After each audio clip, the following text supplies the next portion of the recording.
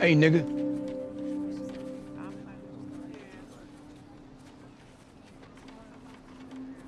Yo, kill the motherfuckers that did that wrong.